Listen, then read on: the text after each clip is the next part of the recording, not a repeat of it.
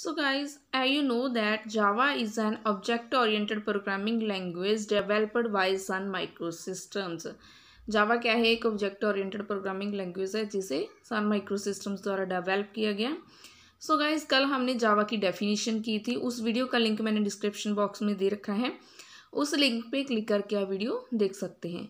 So guys in this video we will discuss how object oriented programming is different from procedural oriented programming and features of object oriented programming and basic concept of object oriented programming इस video में हम ये सब discuss करेंगे first one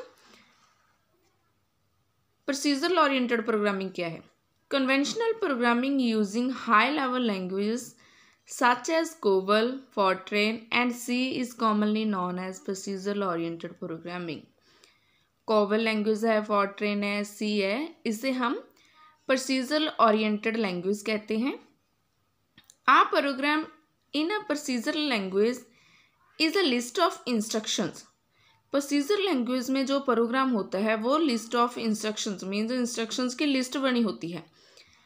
uh number of functions are written to accomplish these task इसमें functions written होते हैं जो टास्क को अकॉम्प्लिस करने के लिए राइट किए जाते हैं। In procedure oriented languages the primary focus is on functions procedure oriented programming language में जो फोक्स होता है, वो ओनली ऑन फ़ंक्शंस पर होता है। सो so गाइज़ अब हम करेंगे ऑब्जेक्ट ओरिएंटेड प्रोग्रामिंग कि जो ऑप्स से ऑब्जेक्ट ओरिएंटेड प्रोग्रामिंग है, जो ऑप्स लैंग्वेज है, वो प्रोसीजर ओरिएंटेड से कैसे डिफरेंट है? क्या फ़र्क है इनमें? The main feature of OOPs is that its main emphasis is on data rather than functions और procedures this is the important difference between OOPs and POPs language देखो जो ऑब्जेक्ट ओरिएंटेड प्रोग्रामिंग लैंग्वेज है, वे क्या करती है? Focus on data mostly डाटे पर focus किया जाता है in object oriented programming but in procedure language में क्या होता है? फ़ंक्शन पर फोकस किया जाता है।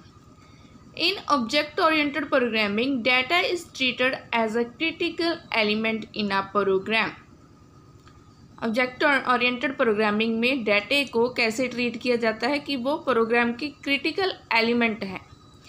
नेक्स्ट अब हम करेंगे basic concept of object oriented language object oriented language के बेसिक कॉन्सेप्ट कौन कौन से हैं और ये क्या है? ऑब्जेक्ट ओरिएंटेड लैंग्वेज की फीचर्स भी हैं। First one is objects classes data encapsulation inheritance and polymorphism. These are the basic concepts of object oriented language. तो इन दिस वीडियो आपको ये सभी टॉपिक्स के ऑब्जेक्ट ओरिएंटेड प्रोग्रामिंग कैसे प्रोसीजर ओरिएंट से डिफरेंट है फीचर्स कौन कौन सी हैं और इसके बेसिक कंसेप्ट कौन कौन से क्लियर हो गए होंगे अगर वीडियो अच्छी लगी तो लाइक करें एंड शेयर करें एंड चैनल को सब्सक्राइब करें।